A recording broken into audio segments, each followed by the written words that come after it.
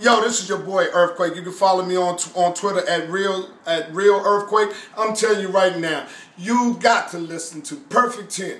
I don't know what you're listening to, but Perfect 10 is the best thing ever in the world. And want me to tell you something else about Earthquake? I'm gonna tell you, Earthquake gonna keep Earthquake coming to California on one condition: if I get a television show.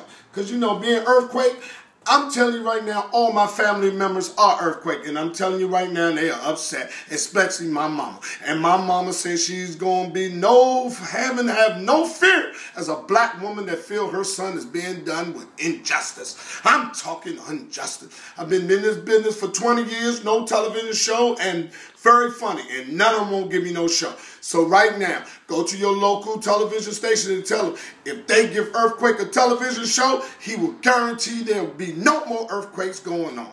And I'm gonna let you know something right here. Perfect 10 pod.com is number one in the world.